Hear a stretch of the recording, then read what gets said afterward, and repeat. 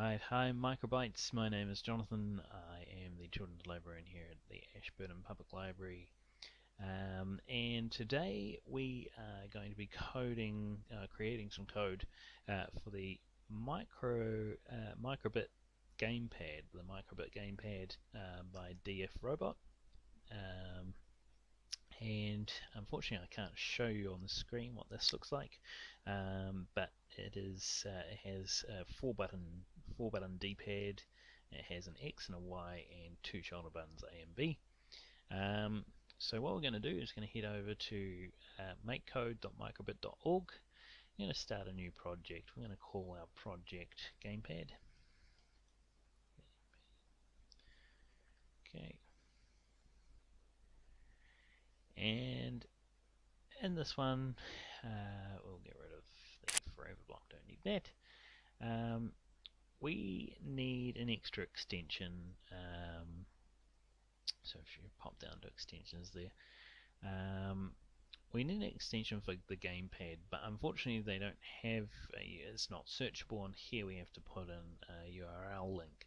Um, I'll put this in the description below um, but if you head over to wiki.dfrobot.com and search for the microbit gamepad, um, you'll find the, the link there. So if you copy this uh, link here and then paste it into the URL search, there we go. Uh, and here it is here, so it's called gamepad. And add that extension into your list of drawers. Here it is here. Okay, so the first thing we need to do is on start, we need to set a radio group. So grab that out there and put that in nice and simple. Uh, and what we're going to do is we're going to set it up um, to send signals for all of, uh, say, eight buttons, all eight buttons um, we may not use all eight buttons, but at least they'll be set up ready to go if we need to do that later on with our robot, our Maqueen, uh, Micro Maqueen robot. We can do that later on. Uh, so we will grab out six, um, six of these, but we'll also, for the shoulder buttons, uh, unfortunately it doesn't work for the shoulder buttons. Shoulder buttons actually relate directly to the A and B button on the microbit itself. So we'll get that from the input draw later on. So we need, uh, if we grab this out, and we can just copy and paste. And we need four for the directions.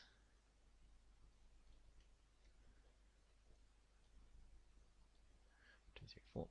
Um, but we also need another four um, because what happens is you need it to say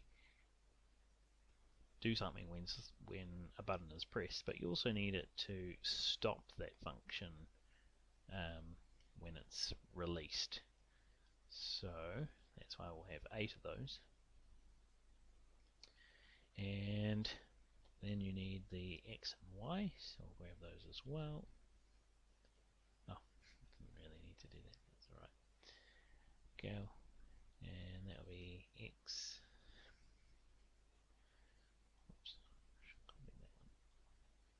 y.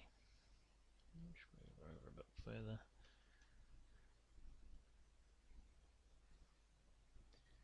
Okay.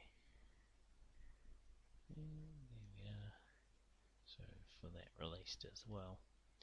And as I said, the shoulder buttons are actually under the input tray because they they're not separate. They're actually related directly to the AMB buttons on the microbit itself um, the link directly to that so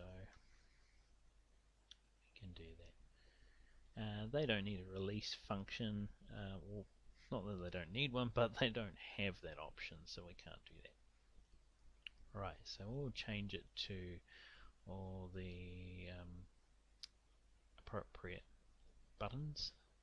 So we're going to start with direction so we're going to go in a clockwise direction starting with up.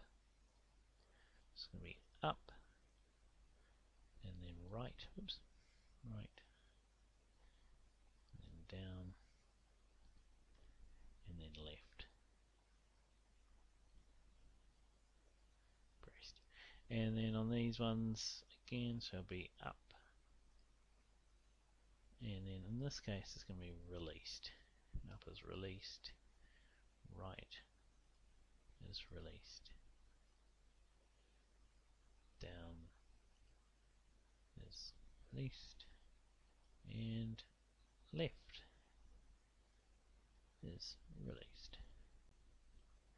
okay so we've got up right down and left is pressed on this side and released on this side then we need our X button is pressed, X button is released, and Y button is pressed, and Y button is released. That is all of our buttons. And Right, now we need to fill it in. So what we wanted to do is we actually want to, it's, it's pretty simple setup really. We're just telling it to send different radio signals because what's going to happen is you're going to really decode those radio signals at the other end. So the, the controller function is actually really super simple. It's, it's just sending separate radio signals um, on each button. So we just need a radio and we want send radio send number. That's all we need. And we need one of those in each.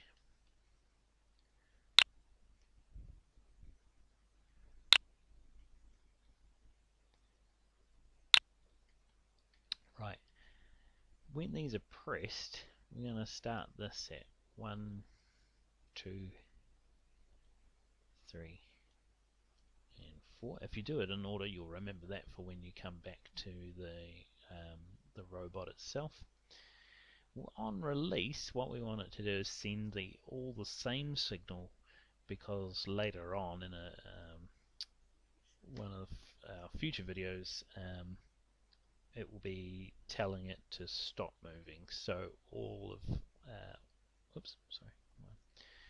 Um, so all of these are actually going to be the same number. It's all going to be zero because I'm going to say zero on the robot, I'm going to tell it that 0 is stop all motors, and then that way it doesn't matter which button you're releasing, it stops the motors from doing whatever it was that they're doing.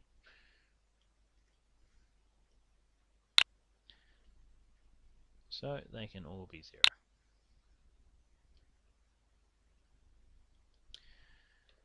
Okay, so we've got 1, 2, 3, 4, and we'll have 5 and 6.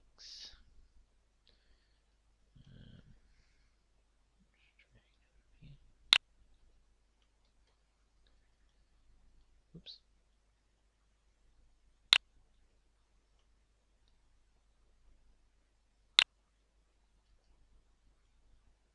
Let's